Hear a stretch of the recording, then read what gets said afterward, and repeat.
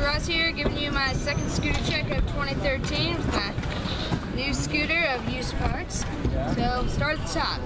I got two ODI black softies with no bar ends because the districts don't fit them. Then I got some of the older district bars, blue and white. Um, small cracks over on each side. And we got down here, blue tilt SCS. Really nice clamp, works very nice. Bolts. And then it's got an FSA headset spacer tube. And then we got favorite headset of all time, the Shop ECX Revolver. Best spinning headset I've ever had. Honestly, like I love it.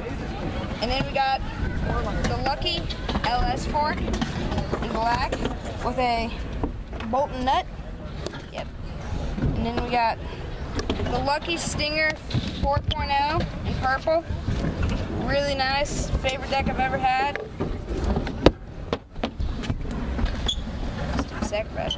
Yep, best deck I've ever had.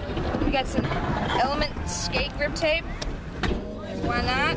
Grip tape. Got this Lucky Brake. Then we got on the back a blue Imperial.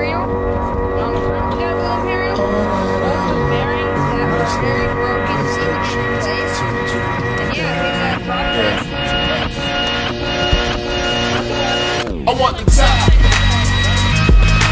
All my people right there in the back of the spot. I need the top. If you know me, you don't know me to stop. I need the top.